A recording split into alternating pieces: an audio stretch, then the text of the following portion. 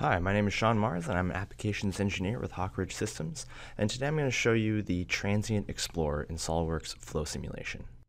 So I'm running a time-dependent analysis using the new free surface flow options in 2018.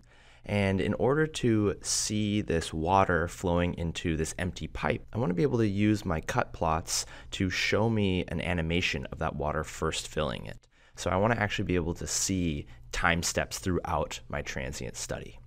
So the Transient Explorer allows you to do that. It's really a saving option, um, and it basically helps you create these animations. So in order to do it, uh, you need to have a time-dependent study already set up here.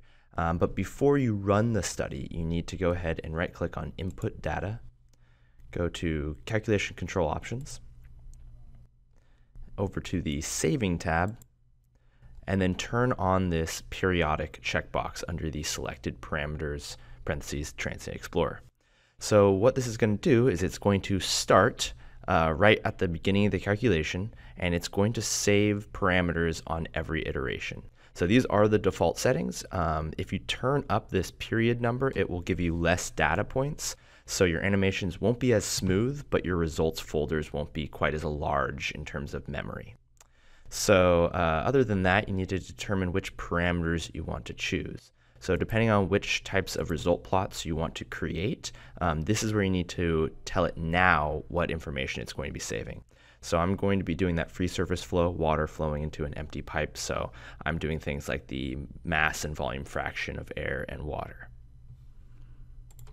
Okay, other than that, once you have that on, you just need to go and run your study. And then when the results come in, you need to right click on your results folder and turn on the Transient Explorer. Once you do that, it will make any specific time steps available. And I'll talk about this little playback bar in a moment here.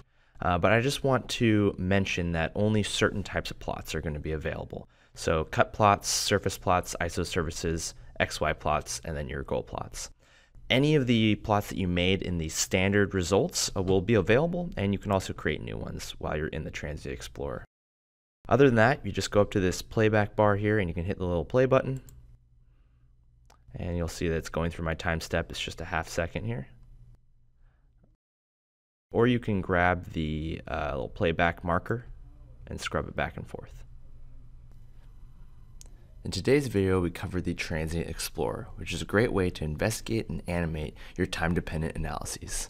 Thanks for watching.